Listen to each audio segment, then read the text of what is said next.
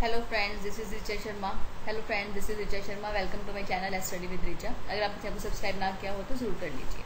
आज हम डिस्कस करेंगे मल्टीमीडिया मल्टीमीडिया क्या है?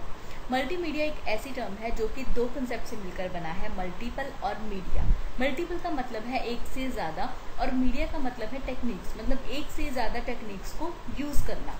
Multimedia is a combination of different media elements like text audio graphics video animation मतलब हम ये डिफरेंट टाइप्स के जो मीडिया एलिमेंट्स है टेक्स्ट है ऑडियो ग्राफिक वीडियो और एनिमेशन इनको यूज़ करके हम अपने काम को कंप्लीट करते हैं। You provide a structure of linked elements through which the user can navigate interactive multimedia becomes hypermedia देखिए हाइपर मीडिया क्या होता है? जब आप इन सब टेक्स्ट को ऑडियो को ग्राफिक वीडियो एनिमेशन को यूज़ करते हो, ऐसा नहीं कि इनको आप सेपरेटली ही यूज़ कर सकते हो। आप इनको एक जगह पर भी यूज़ कर सकते हो सेपरेटली भी यूज़ कर सकते हो। तो जब आप एक चीज़ पे के ऊपर, दूसरी चीज़ के पर जाने के लिए एक लिंक बनाते हो, उनको एक स्ट्रक्चर मैनर में एक लिंक क्रिएट करते हो कि जैसे ही आप हाइपर मीडिया के ऊपर क्लिक करो और एक पिक्चर आ जाए। तो इस तरह से जो लिंकिंग करते हो, एक सिस्टमेटिक वे में उसको हम कहते हैं हाइपर मीडिया ठीक है? Next is hyper media and hyper text हम इनको एक बार समझ लेते हैं कि इंपॉर्टेंट टर्म्स है। Hypermedia is a way of organising multimedia information while linking media elements जैसे मैंने आपको बताया कि आप एक पिक्चर एक पिक्चर के ऊपर क्लिक करोगे तो उसकी पीडीएफ खुल जाएगी। इस तरह से भी हो सकता है। मतलब ये नहीं कि आप टेक्स्ट से ही बना सकते हो, आप किसी पिक्चर के ऊपर भी लिंक क्रिएट कर सकते हो। और हाइपर टेक्स्ट क्या होता है कि जब आप टेक्स्ट के ऊपर एक लिंक बनाते हो टेक्स्ट के ऊपर क्लिक किया और आपकी पिक्चर खुल गई या एक पूरी पीडीएफ फ़ाइल खुल गई या कोई और भी डाटा खुल जाता है। ठीक है? ये आप लिंक क्रिएट करते हो दो एलिमेंट्स के बीच में डिफरेंट फॉर्म में। यह हमारे पास मल्टीपल एलिमेंट मल्टीमीडिया एलिमेंट्स एक है डायनामिक एलिमेंट्स और एक होता है स्टैटिक एलिमेंट्स डायनामिक एलिमेंट्स में आते हैं वीडियो एनिमेशन और audio what does it means कि जो चेंजेस होते रहते हैं, आप वीडियो चलती है वीडियो में आप देखते हो कि एक के बाद एक एक के बाद एक अपने आप सीन चेंज होते हैं. सेम एनिमेशन और ऑडियो में भी. ऑडियो में भी क्या होता है कि एक एक पर्सन एक कंप्लीट लाइन बोलता है तो उसमें वर्ड्स चेंज होते हैं. तो यह डायनामिक एलिमेंट्स जो कि चेंज होते रहते हैं. स्टैटिक एलिमेंट्स में क्या आता है? कि स्टैटिक एलिमेंट्स में एक चीज़ फिक्स होती है, जैसे कि एक टेक्स्ट हमने लिखा मल्टीमीडिया अब वो चेंज नहीं हो रहा। इवन अगर वीडियो चल रही है, कोई ऑडियो बोल रहा है बंदा तो उसमें जो टेक्स्ट उसने बोला है, वो तो सेम ही रहेगा बट वो एक कंटिन्यू मैनर में रहेगा। इन दोनों चीज़ों को समझना बहुत ज़रूरी है। अब ग्राफिक्स है ग्राफिक्स में भी क्या होता है कि एक ग्राफ आप शो करते हो, कोई भी आप बार चार्ट शो करते हो, कोई भी चार्ट शो करते हो तो वो एक स्टैटिक फॉर्म में होता है कि अगर आप उस पर क्लिक करोगे तो दूसरी चीज़ खुल सकती है बट वो ग्राफ तो एज इट इज़ ही रहेगा।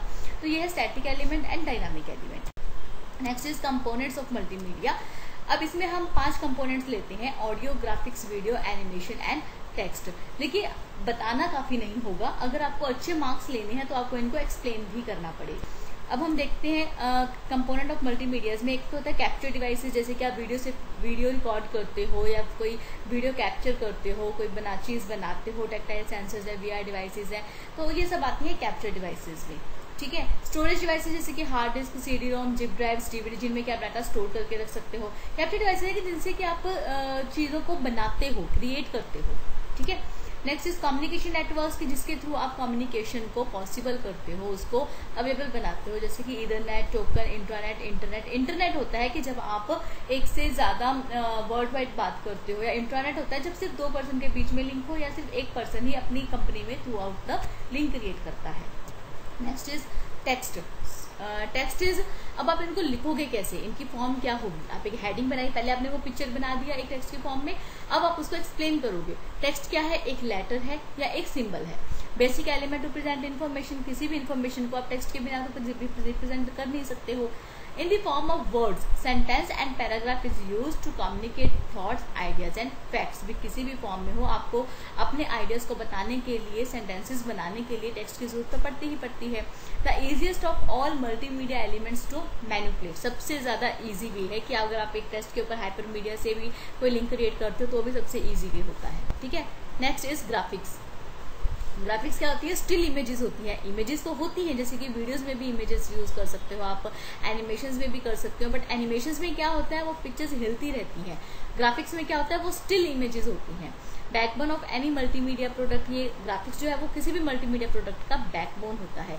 Use to visualise important part of communication process use to add emphasis direct attention illustrate concept अब देखिए, अगर आपको मैं ग्राफ दिखाऊँ तो आपको ग्राफ से ज़्यादा क्लियरली कोई भी डाटा समझ में आ जाएगा कि कौन सी चीज़ ज़्यादा है, कौन सी चीज़ कम है। और अगर मैं आपको वो लिख के दिखाऊँगी तो आपको वो चीज़ें कन्फ्यूज़न में रहेंगी। अचार को आपको याद रखना भी बहुत ईजी होता है। ठीक है? नेक्स्ट इज़ ऑडियो ऑडियो में क्या होता है कि अब जैसे मैं आपको एक इंग्लिश लाइन बोल, एक इंग्लिश में कंटेंट बता रही हूँ सेम उसकी हिंदी बता रही हूँ कि अगर आपको आपको हिंदी समझ में अच्छे से आ गई आप उसको कंसेप्ट अपने आप से पेपर में मार्क्स के अकॉर्डिंग लिख सकते हो। तो ऑडियो का फ़ायदा ये होता है कि ये मल्टीमीडिया का एक फंडामेंटल कंसेप्ट है। बेसिक लेवल पे sound act as a notice और वार्निंग बेसिक लेवल पे साउंड से हम नोटिस करने लग जाते हैं चीज़ों को। Next is to enhance the attraction of the multimedia presentation help to increase concentration toward the presentation मतलब प्रेजेंटेशन की तरफ़ हमारा कंसंट्रेशन बढ़ जाता है। ठीक है? नेक्स्ट इज़ वीडियो वीडियो में क्या आएगा एक मूविंग पिक्चर है। Combines feature of graphic and audio to create dynamic content for multimedia products की ये एक क्या करती है? ग्राफिक्स को और एक ऑडियो दोनों को कंबाइन कर लेती है। ठीक है? Next is would recognise the impact of seeing the actual event rather than reading और लिसनिंग टू इट मतलब वीडियो में क्या होता है कि आप वीडियो को देख भी रहे हो और ऑडियो से आप उसको सुन भी रहे हो। वीडियो में कंबाइन कर दिया दोनों को तो आपको बेटर वे हो जाता है समझने के लिए। ठीक है? नेक्स्ट आता है हमारा एनिमेशन एनिमेशन में क्या है? To create movement on the screen की अब पिक्चर तो स्टिल इमेजेस ग्राफिक्स में आ गई वीडियो में ऑडियो और वीडियो दोनों आ गई। एनिमेशन में क्या होता है? एक पिक्चर जो कि मूव कर रही है मूवमेंट कर रही है। Play a huge role in entertainment, providing action and realism, and in education, providing visualization, demonstration. Affective और ट्रेनिंग एप्लीकेशन इसका जो एग्जैक्ट यूज़ होगा एजुकेशन में कैसे यूज़ होगा वो मैं आपको अपनी नेक्स्ट वीडियो में प्रॉपर कंटेंट के साथ समझाऊँगी अफेक्टिव फॉर ट्रेनिंग एप्लीकेशन जैसे कि सिमुलेशन प्रोसेस होता है या एयरप्लेन में होता है कि उनको पायलट्स को प्लेन उड़ाना सिखाते हैं तो वो उनको एक्जैक्टली स्टार्टिंग में ही प्लेन में नहीं बिठा देते हैं। वो एक एक एप्लीकेशन होती है जिसमें कि वो सिमुलेशन क्रिएट किया जाता है, वो एटमोसफेयर क्रिएट किया जाता है, उसमें उनको ट्रेनिंग दी जाती है। ठीक है, वो एनिमेशन के थ्रू ही होता है। Movement are made from many still images अब इसमें एक इमेज नहीं होती है या एक ही पिक्चर हिलती नहीं है, इसमें बहुत सारे स्टिल इमेजेस को क्रिएट करके उनमें मूवमेंट की जाती है। तो ये था हमारा मल्टीमीडिया का कंसेप्ट जिसमें हमने कंपोनेंट्स और एलिमेंट्स समझे हैं। अब नेक्स्ट हम इसका मल्टीमीडिया का एजुकेशन में क्या यूज़ है टीचिंग में कैसे यूज़ होती है, वो समझेंगे। अगर आपको मेरा सेशन पसंद आए तो प्लीज़ प्लीज़ प्लीज़ लाइक और शेयर ज़रूर कीजिए और सब्सक्राइब ना किया हो तो ज़रूर कर लीजिएगा। Thank you thank you so much